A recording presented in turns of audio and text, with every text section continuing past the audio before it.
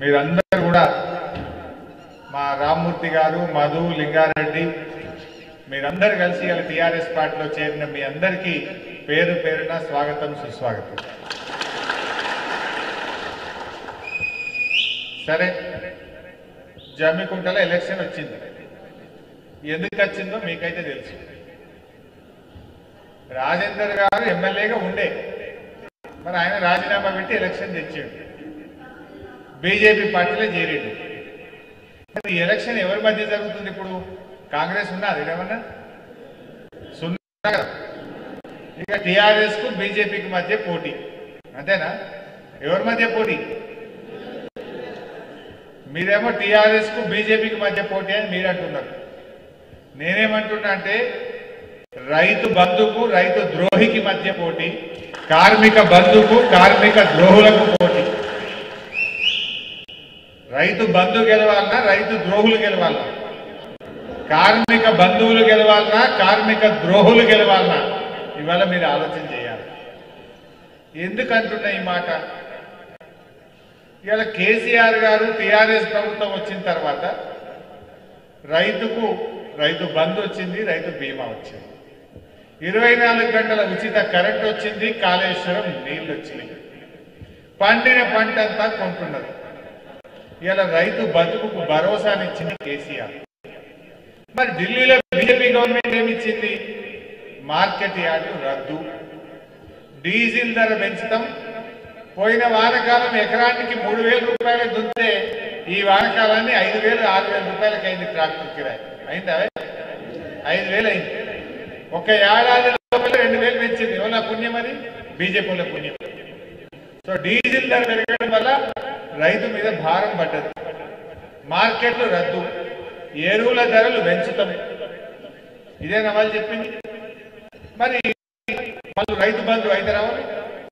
వాళ్ళు రైతు ద్రోహులు. ఇవాళ ఢిల్లీలో ఏడాదికే రైతులు ధర్నాలు చేస్తా ఉంటే తలలు వలగొడుతున్నారు ముళ్ళ కంచెలు పెడుతున్నది బీజేపీ. రైతులు రాకుండా రోడ్ల మీద మేకులు గుచ్చింది మొత్తం మొరలు పెట్టింది. మొరలు పెట్టి రైతులను ధర్నాలు చేయకుండా రోడ్డు మీదకి రాకుండా బుల్లెట్లతో కొడుతున్నారు రబ్బర్ బుల్లెట్లతోని బాష్పవాయు గోళాలతో కొడుతున్నారు రైతుల తెలలు బలగొడుతున్నారు ఏమడిగిండ్రు రైతులు? మాకు మద్దతు ధర ఉండాలి అన్నారు. మాకు మార్కెట్ ఉండాలి అన్నారు. రైతుకు భరోసా కావాలని అడుగుతున్నారు. మరి ఇలా రైతులను మార్కెట్లు తీసేసి ఎరువుల ధరలు పెంచి రైతులకు బాయిల కాడ బోర్ల కాడ కరెంటు మీటర్లు పెట్టి ఎంత కరెంటు వాడినవో లెక్క పెట్టు మరి గా పని చేస్తే మన రైతు బతుకుతారా కేసీఆర్ ఏమో బాయిల కాడ మీటర్ వద్దు బోర్ల కాడ మీటర్ వద్దు ఫ్రీగా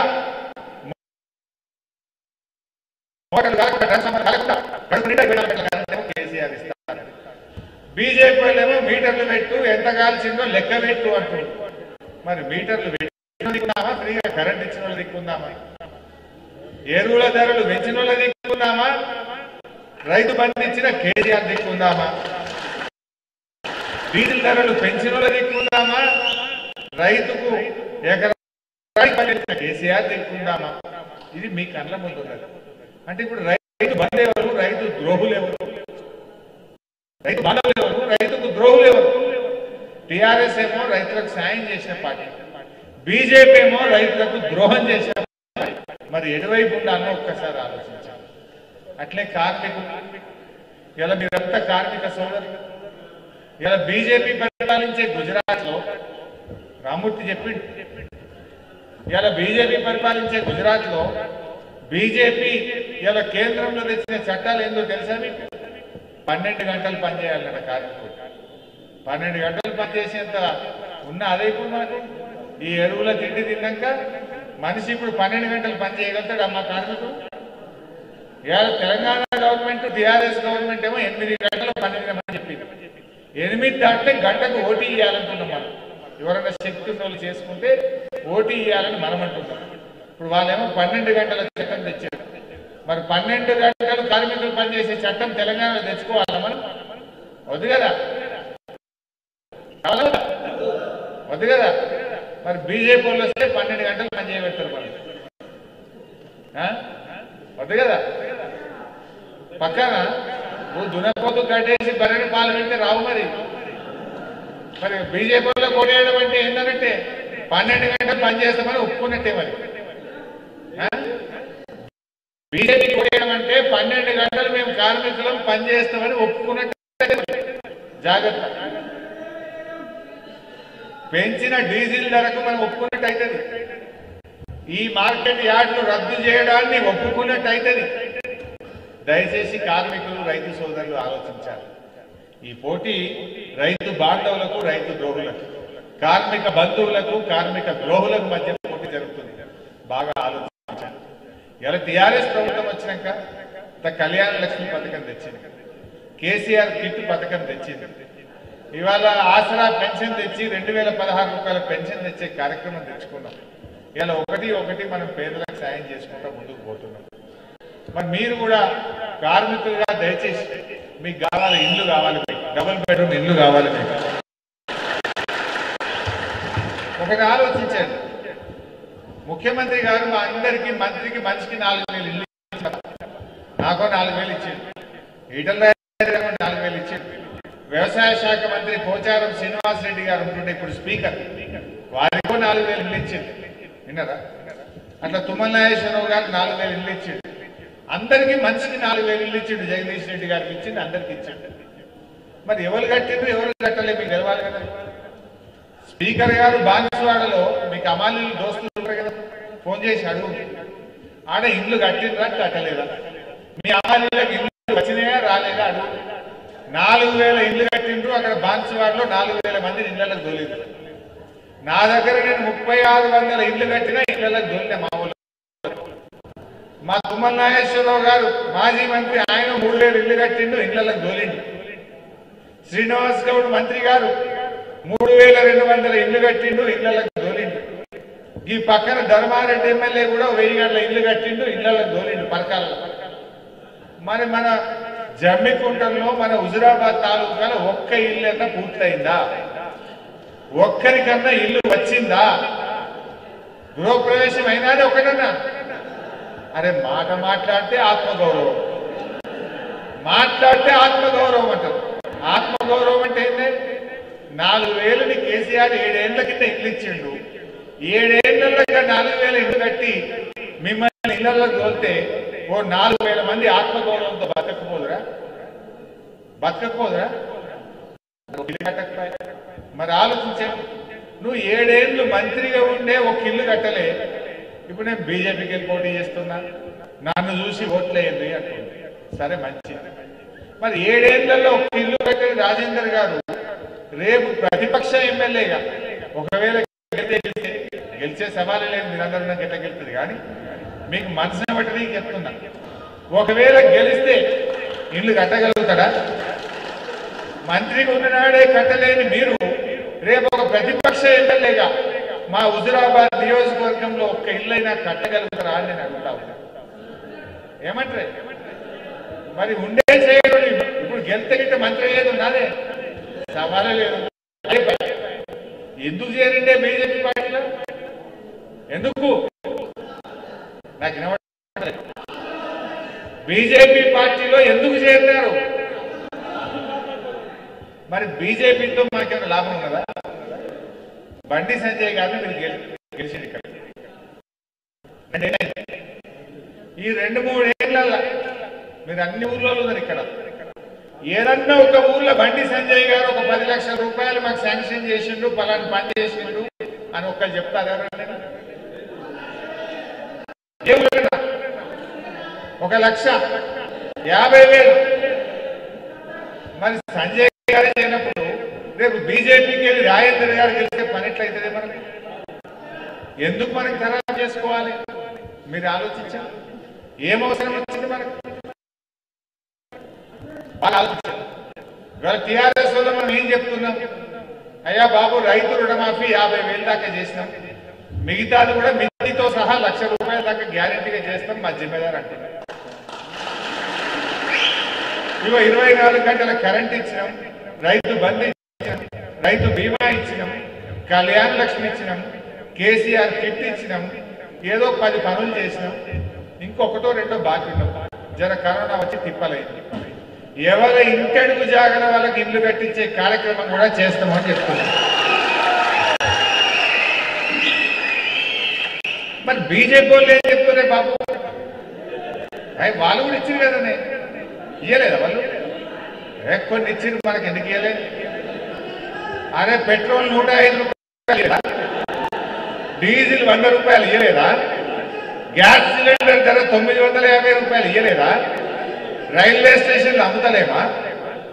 అమ్మకాన్ని పెట్టినా లేదా?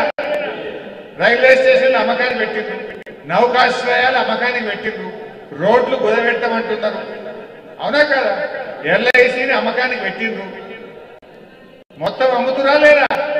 రైళ్ళు రోడ్లు విమానాశ్రయాలు నౌకాశ్రయాలు ఎల్ఐసి విశాఖ ఉక్కు ప్రభుత్వ రంగ సంస్థలు ఒకటొకటి ఒకటొకటి అన్ని బిఎస్ఎన్ఎల్ అయితే మొత్తానికి అమ్మేను రిలయన్స్ కూడా వచ్చినాయి. బిఎస్ఎన్ఎల్ ఫోన్ ఉందా ఇప్పుడు. అంత రిలయన్స్ రిలయన్స్ రిలయన్స్. యాభై వేల మందిని బిఎస్ఎన్ఎల్లో ఉద్యోగాలు మరి ఎన్ని దిక్కుండాలి అమెటోలో దిక్కుండాలనా కాళేశ్వరం ప్రాజెక్టు కట్టి సబ్ స్టేషన్లు కట్టి విద్యుత్ ఉత్పత్తి కేంద్రాలు కట్టి ఈ తెలంగాణని ఎంత బాగా అభివృద్ధి చేసిన దిక్కుండాలనా కట్టడంలో దిక్కుందామా అమెటోలో దిక్కుందా కేసీఆర్ ఏమో కాళేశ్వరం కట్టబట్టే రిజర్వాయర్లు కట్టబట్టే సబ్ స్టేషన్లు కట్టబట్టే రోడ్లు కట్టబట్టే దవాఖానాలు కట్టబట్టే కట్టేటోళ్ళేమో కేసీఆర్ అమ్మేటోళ్ళేమో బీజేపీ. మరి ఎటుందాం మనం? ఆలోచించండి. ఇవాళ ఏం చెప్తుంటే బీజేపీ వాళ్ళు? ఇప్పుడు మేము అంటున్నాం. అయ్యా మా గెల్లు శ్రీనివాస్ యాదవ్ని గెలిపింది. మా కార్మికులకు డబుల్ బెడ్రూమ్ మీ జాగ్రత్త మీకు గట్టించే జిమ్మేదారు నేను తీసుకుంటా అని చెప్తున్నా. బీజేపీ వాళ్ళు ఏం చెప్తున్నారు? ఏం చెప్తున్నారు? గడియారాలు ఇస్తాం గ్రైండర్లు ఇస్తాం కుట్టు మిషన్లు ఇస్తాం కుటుంబరణలు ఇస్తాం కుక్కర్ ఇస్తాం బొట్టు పిల్లలు ఇస్తాం మేకపోతలను ఇస్తాం ఫుల్ బాటిల్ పిల్లగాళ్ళకు సెల్ ఫోన్లు ఇస్తాం సీరియల్ పెడతాం సారీలు పెడతాం. ఇదేనా చెప్పేది? ఇదేనా లేదా? గొడుగులు గొడుగులు ఇస్తాం మాస్కులు ఇస్తాం. ఇంకేం అయ్యో ఏం పంచుడా ఇది? పంచుడే పంచుడు అయితే అర్థం కాలేదు ఇవాళ ఎప్పుడన్నా ఈ ఆరు సార్లు ఎప్పుడు కదా? ఎప్పుడన్నా మంచినాడు ఇంతగానో మరి ఇప్పుడే ఎందుకు వస్తువు అర్థమైందా మీకు? ఎందుకు వస్తుందంటే టిఆర్ఎస్ గవర్నమెంట్ ఉన్నప్పుడేమో మైక్ పట్టుకొని కళ్యాణ లక్ష్మి ఇచ్చినాం కేసీఆర్కి ఇప్పించినాం రైతు బంధు ఇచ్చినాం రైతు బీమా ఇచ్చినాం అని చెప్పనీకుండేది ఇప్పుడు బీజేపీలకు వాయి ఏం చెప్పాలి మైక్ పట్టుకొని? పెట్రోల్ పెంచినాం డీజిల్ పెంచినాం గ్యాస్ పెంచినాం ఎల్ఐసి అమ్మినాం రైళ్ళు అమ్మినాం విమానాలు అమ్మినాం నౌకాశ్రయాలు అమ్మినాం మాకు ఓటేమన్నారు చెప్పనీకేం లేదు. అందువల్ల ఇక బొట్టు పిల్లలు ఇచ్చిన గ్రైండర్లు ఇచ్చిన కుక్కర్లు ఇచ్చిన కుట్టు మిషన్లు ఇచ్చిన వెండి కుంకుమలు ఇస్తా ఇక మాకు బాధలు ఇస్తా మేకపోతలు ఇస్తా కోడి పిల్లలు ఇస్తా ఓటేయమంటారు. మరి మనం ఆలోచించుకోవద్దా? బతుకుతాం దాంతో గవ్వా మనకు కావాల్సిన దానికోసమే మనం ఆలోచిస్తున్నాం. ఇక గమ్మత్ ఏంటంటే షేరింగ్ బీజేపీ పార్టీలో మాట్లాడేదేమో అన్ని ఎర్ర జెండా ఏమని మాట్లాడతారు? రక్త సంబంధం కంటే వర్గ సంబంధం గొప్పది. గొప్పది. కానీ అది మాట్లాడేవాళ్ళు మాట్లాడాలి మా పోషమల్ల మాట్లాడితే చెప్తుంది. కదా? ఇప్పుడు రాజేందర్ గారు చేరిందేమో బీజేపీ పార్టీగా. మాట్లాడేదేమో వర్గ సంబంధం గొప్పదని బట్టి ఇది ఎక్కడి కథ? నేను చెప్పిన మొన్న చూసి చూసుకుంటే అదే మాట్లాడుతుంటే రాజేంద్ర గారు ఎర్ర జెండా చేతిలో పట్టు మన అదేంది? కాషాయ జెండా. రాజేందర్ గారు కాషాయ జెండా చేతిలో పట్టుకొని ఎర్ర జెండా డైలాగ్ ఎవరు నమ్మలే నాయన? నువ్వు ఉన్నది ఎర్ర. కాషాయ జెండా పార్టీలో చేరినావు. మతతత్వ పార్టీలో చేరినావు. కాషాయ జెండా పార్టీలో ఉండి ఎర్ర జెండా డైలాగ్ కొట్టిన అట్ట ఉన్నది అంతా ఎర్ర జెండాలోనే ఉన్నారు సో ఇది విషయం. గాయంత అమాయకుల మీరు గాయంత అర్థం చేసుకోరా? ఏం జరుగుతుందో మనం ఆలోచించుకోవద్దా? రేపు గెల్లు శ్రీనివాస్ యాదవ్ గెలిచి రేపు కేసీఆర్ సార్ దొరకచ్చుకుందాం హుజరాబాద్లో మెడికల్ కాలేజ్ పెట్టుకుందాం లేదా పిల్లగాళ్ళకు ఒక పాలిటెక్నిక్ కాలేజ్ పెట్టుకుని అడుగుదాం మా పిల్లలకు ఒక ఐటీఐ కాలేజ్ పెట్టుకుని అడుగుదాం ఏదైనా పిల్లలు చదువుకుంటే బాగుపడతాం గా పని కేసీఆర్ గారితో టీఆర్ఎస్ ప్రభుత్వంతో అవుతుంది కానీ ఈ బీజేపీ వాళ్ళతో అవుతుందా. చెప్పండి. నాకు? మరి మనం ఎందుకు ఒక వ్యక్తి ప్రయోజనం ముఖ్యమా? హుజురాబాద్ ప్రజల ప్రయోజనం ముఖ్యమా నేను అడుగుతా ఎవరు లాభపడాలి? ప్రజలు ఇలా బాగుపడాలన్నా ఈటల రాజేందర్ గారు అనే ఒక వ్యక్తి బాగుపడాలన్నా మరి బీజేపీ గెలిస్తేనేమో ఒక వ్యక్తికి ప్రయోజనం అవుతుంది టిఆర్ఎస్ పార్టీ గెలిస్తే హుజూరాబాద్ ప్రజలకు లాభం జరుగుతుంది. మీరు ఆలోచించండి. నన్ను ఎవరు అడిగిండు ఏ పోటీ ఎవరుకున్నది మీకు ఇక్కడ హుజూరాబాద్లో కాంగ్రెస్ టిఆర్ఎస్ ఉన్నదా? బీజేపీ టీఆర్ఎస్ అని అడుగుతా నేను చెప్పిన పోటీ బొట్టు పిల్లలకు ఆసరా పెన్షన్ మధ్యలో ఉన్నదని చెప్పిన. గడియారాలకు కళ్యాణం లక్ష్మికి మధ్య పోటీ ఉన్నదని అడిగిన. అరవై రూపాయల గడియారం ఇచ్చిన దిక్కుంటారా ఆడవేల పెళ్ళికి లక్ష రూపాయలు ఇచ్చిన వాళ్ళు దిక్కుంటారా మా వాళ్ళు ఆలోచిస్తున్నారా హుజరాబాద్ హుషారు అని చెప్పిన. రూపాయి బొట్టు పెళ్ళి ఇచ్చిన వాళ్ళ దిక్కుంటారా నేల నెల రెండు వేల రూపాయలు ఆసన పెన్షన్ ఇచ్చిన కేసీఆర్ దిక్కుంటారా? ఆలోచించుకుంటారులే జరమని అని చెప్పిన. వచ్చినాయా పిల్లలు? అలాగే గడియారం రూపాయి బొట్టు బిల్లు ఇచ్చి మన ఓట్లు కొనుక్కుంటారట బీజేపీ జనం గంత అమాయకులా? దయచేసి ఇది కాదు మనకు కావాల్సింది. ప్రజాస్వామ్యంలో ప్రజలు గెలవాలి. ప్రజాస్వామ్యంలో గెలవాల్సింది గడియారాలు గ్రైండర్లు బొట్టు పిల్లలు కాదు. ప్రజాస్వామ్యంలో ప్రజలు గెలవాలి. పనిచేసే ప్రభుత్వం గెలవాలి. నువ్వు తీసుకురా నేను వద్దంటే ఢిల్లీలో గవర్నమెంట్ ఉంది కదా. పోయి మోడీ గారి దగ్గరకు అమిత్ షా గారి దగ్గరకు పోయి తీసుకురాపో జమ్మికుంటకు ఒక ఐదు వేల కోట్లు తీసుకురాపో వద్దంటారా ఐదు కాకుండా రెండు వేల కోట్లు నేను- మేము కూడా ఓటేస్తాం మీకు కూడా. ఓ రెండు వేల కోట్లు తెమ్మని మనం కూడా వేస్తాం. వస్తాం కదా అట్లనే తీసుకురా మరి వద్దంట. రెండు వేల కోట్లు వేస్తే మరి మనం ఏమైనా వద్దంటున్నామే తీసుకురాపో మరి. గెలిచిన ఆయన దుబ్బాకలో గెలిచి ఏం ఒక ఆయన గెలిచి ఇప్పుడు తొమ్మిది నెలలు ఆయన దుబ్బాకల. ఢిల్లీ ఆయనకి ఇట్లే చెప్పింది ఇదే లెక్క. ఏ నన్నైతే గెలిపేది మూడు నెలల మండలం ఆరు నెలల ఆడియో ఆఫీసు ఢిల్లీకి వెళ్ళి రైలు వస్తుంది మొత్తం దుబ్బాకకు. దవాఖాన వస్తుంది ఏమేమో చెప్పింది ఇక నోటికి మొక్కాలి ఇక. మరి తొమ్మిది నెలలు ఏమైనా వచ్చిందా ఏమన్నా వచ్చినాదే నిజామాబాద్లో ఒక ఆయన ఎంపీ గెలిచిండు. నన్ను గెలిపింది పసుపు బోర్డు తీసుకొస్తే నిజామాబాద్ కానీ అగ్రిమెంట్ రాసిచ్చిండు బాండ్ పేపర్ మీద. బాండ్ పేపర్ మీద అగ్రిమెంట్ నేను గెలిస్తే నిజామాబాద్లో పసుపు బోర్డు పెడతా అని ఊరికి ఒక అగ్రిమెంట్ రాసిచ్చిండు బాండ్ పేపర్ మీద. మరి రెండేళ్ళు వచ్చిన అది పసుపు బోర్డు. బాండ్ పేపర్ మీద రాసిస్తేనే పసుపు బోర్డు రాకపోయా నిజామాబాద్లో దుబాకల రైలు కాదు కదా ఏం బస్సు కూడా వస్తలేదు వచ్చిన లేదు తెచ్చింది ఏం లేదు.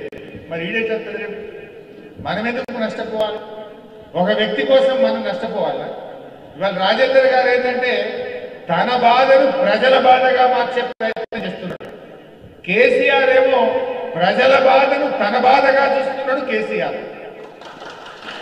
ప్రజలకు ఏం కష్టం ఉందో ఆలోచించి. కరెంట్ కష్టం ఉంటే తీర్చిండు కేసీఆర్. ఇక పెళ్ళికి కష్టం ఉందంటే తీర్చిండు కేసీఆర్. కాల్పుకు పోతే కష్టమవుతుందంటే కేసీఆర్ కిట్టు పెట్టి దవాఖానలను మంచిగా చేసే ప్రయత్నం చేసిండు కేసీఆర్.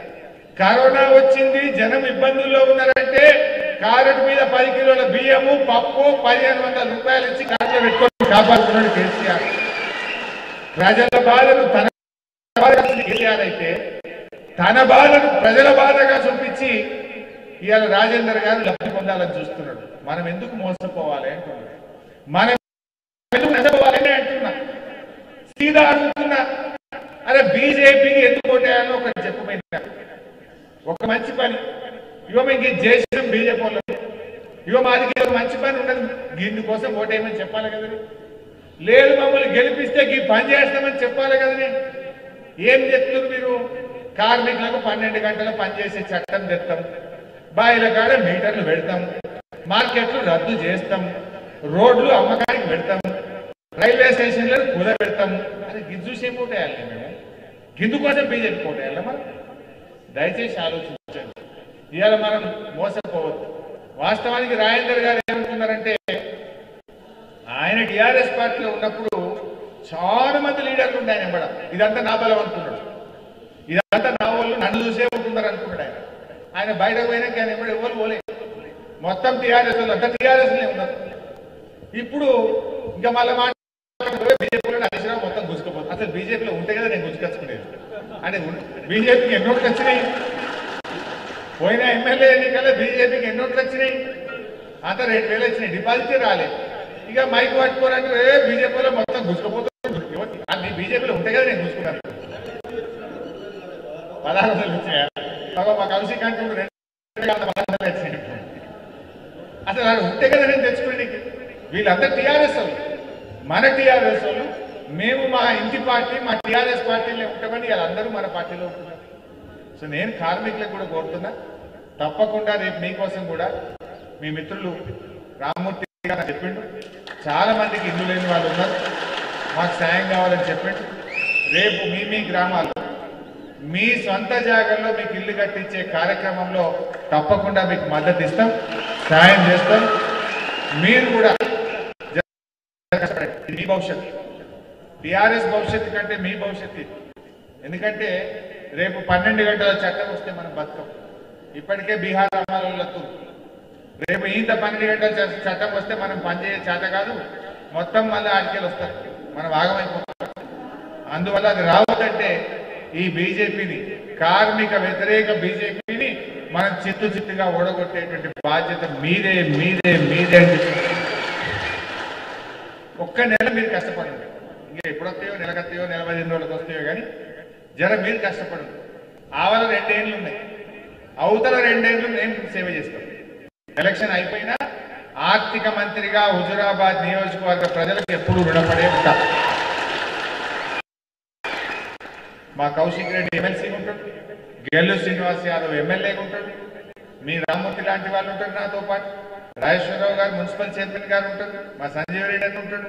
మేమందరం ఏ అవసరం పడ్డా మీకు ఏ ఆపద సంపదకైనా సరే మేము మీకు అండగా ఉంటాం మిమ్మల్ని కాపాడుకుంటామని మనవి చేస్తూ జై తెలంగాణ.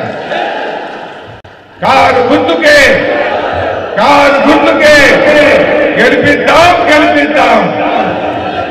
గెల్లు శ్రీనివాస్ యాదవ్కే గెల్లు శ్రీనివాస్ యాదవ్కే.